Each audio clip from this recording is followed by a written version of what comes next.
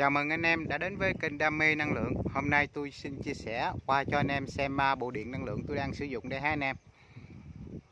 Đây là số pin à, của tôi lắp à, trên khung điều hướng nha anh em, 1000W pin ha. Cái tấm to bên kia là 405W. Còn lại những tấm nhỏ nhỏ bên đây 6 tấm tôi ghép song song lại là mỗi tấm 100W ha.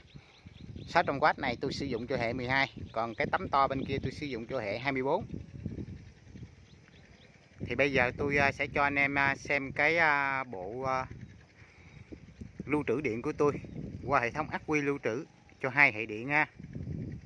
Anh em xem thấy hay và hữu ích thì hãy đăng ký kênh để tiếp tục đồng hành cùng tôi.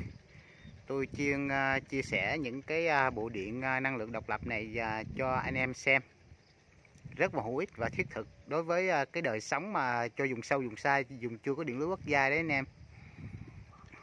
Thôi để tôi đi vào nhà. Hôm nay á buổi chiều trời à, miền Nam này anh em. May không hôm nay á, thì à, đối với 1.000 watt pin này thì à, không có điện để sử dụng rồi. Đây.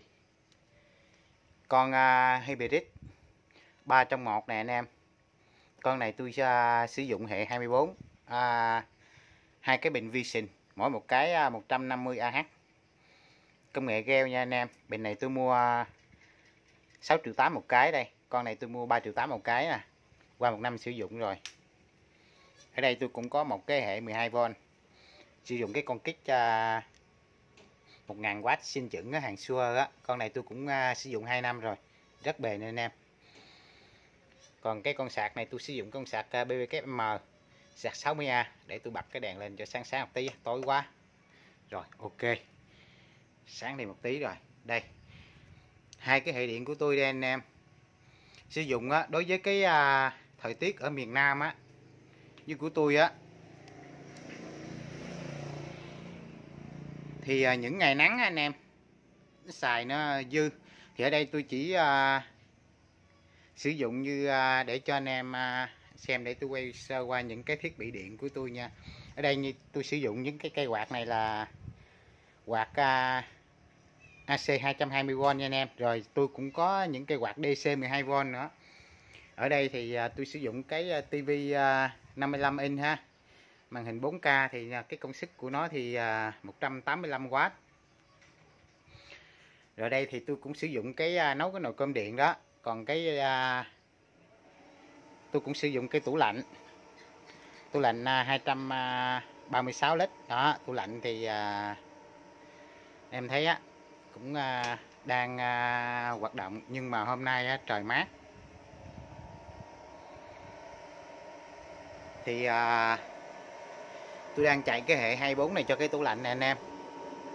Thì bây giờ cái điện áp của cái à, hệ 24 này nó xuống là 24.6V à, à, rồi. Bây giờ á là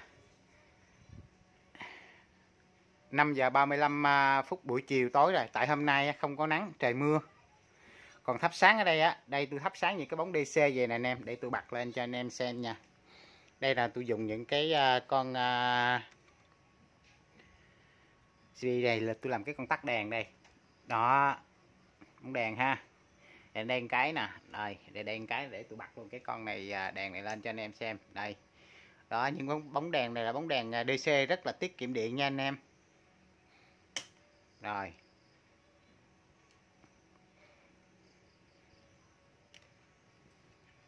Hôm nay hai hệ của tôi thì à, coi như nó không có điện để sử dụng anh em à. 600 watt pin nè. Bây giờ tối rồi. Bây giờ ờ, chỉ cái ờ, hệ quy nó chỉ còn có 42 phần trăm ờ, cái lượng điện trong bên cái hệ lưu trữ thôi. Thì cái này trên cái cái màn hình led của cái bộ sạc nó hiển thị vậy.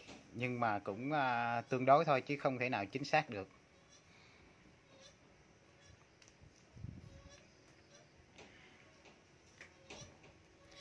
Thì tôi cũng xin uh, chia sẻ qua cho anh em. Còn anh em có cái vấn đề gì mà thắc mắc hay gặp trục trặc những anh em nào mà biết rồi thì thôi. Thì tôi đây uh, thì chuyên sử dụng những cái bộ điện độc lập như thế này nè. Thì trong uh, thời gian sử dụng uh, thì tôi cũng có uh, học hỏi rất nhiều.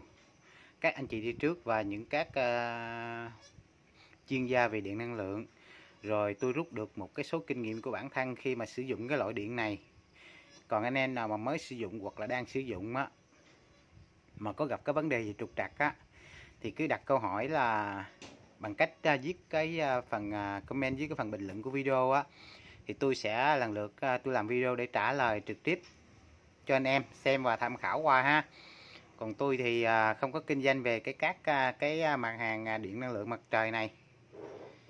Thì uh, trong cái nội dung của video tôi chia sẻ thì à, tôi à, nhằm mục đích là mang lại cái giá trị thiết thực và rất hữu ích trong cái đời sống.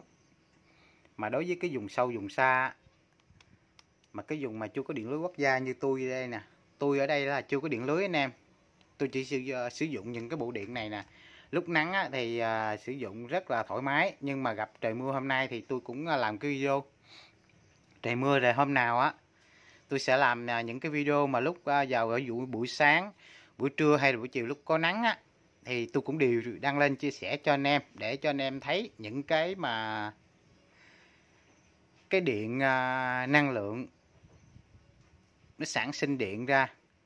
Thì nó sản sinh ra điện từ tấm pin, nó hấp thu từ ánh nắng của mặt trời thì tất nhiên rồi sử dụng điện năng lượng thì à, có nắng thì có điện không nắng thì không điện cái đó là tất nhiên rồi anh em. Nhưng mà đối với cái bầu trời miền Nam á như là tôi đang ở Bến Tre á thì à, bầu trời miền Nam thì cái nắng á, nó tốt hơn các vùng miền khác như chẳng hạn như miền Bắc.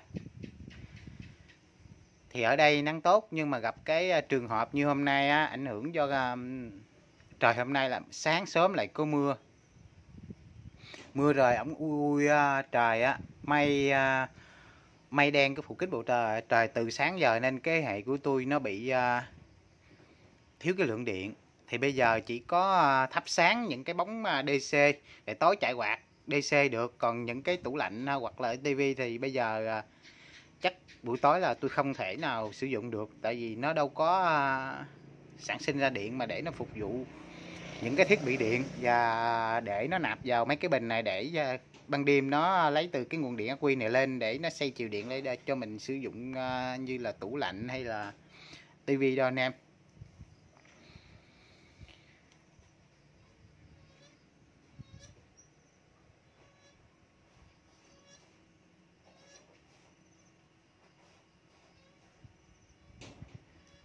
Thôi thì cái video này á là cái video đầu tiên của tôi đăng lên trên cái kênh đam mê à, năng lượng.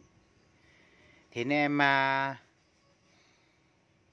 vào xem nếu thấy à, hữu ích và thiết thực thì đăng ký kênh và nhấn chuông để tiếp tục à, đồng hành và theo dõi những cái loại điện này à, sử dụng hiệu quả như thế nào nha anh em. Đăng ký kênh thì hoàn toàn miễn phí không tốn cái gì đâu anh em à. Tôi thì cứ à, lúc rảnh rảnh thì cũng phải à, dành à, một chút thời gian 50 phút để làm cái video clip này để đăng lên để cho anh em xem ha còn bây giờ xin chào và hẹn anh em lại trong video sau của tôi nha bye bye ạ à.